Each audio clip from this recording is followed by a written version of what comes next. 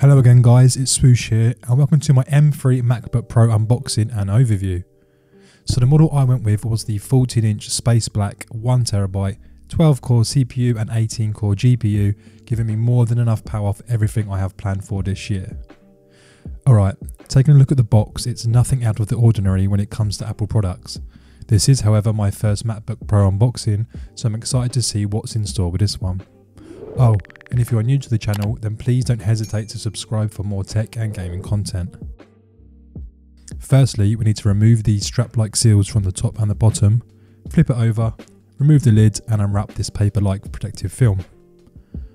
Firstly, wow, this is stunning, it really is. As mentioned earlier, I went with the new space black finish and boy did this not disappoint.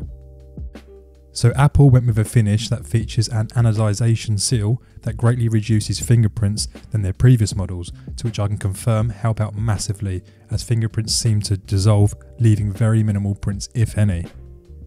So checking out the ports on both sides, we have a HDMI port, USB-C, and also an SD port on one of the sides, followed by a power connector which is MagSafe, to USB-C and a jack port.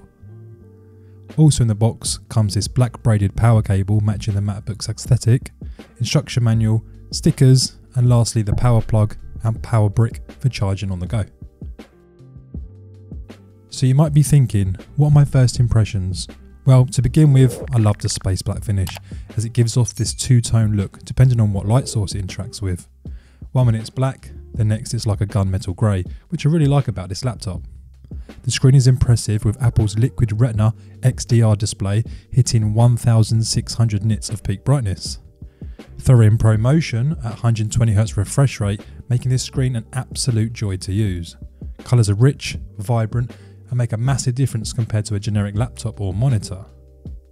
Talking of monitors, I do intend to use this machine in clamshell mode while hooking up to my LG monitor for more real estate with editing and consuming content. I am, however, waiting on my laptop stand from a brand called Oakywood, so shout out to them, as it's probably one of a few that actually look nice within my setup. So guys, what do you think? Does this space black colour pull you in? Let me know in the comments down below. And with that, thank you so much for watching and be sure to get subscribed for more MacBook content and everything tech and gaming related.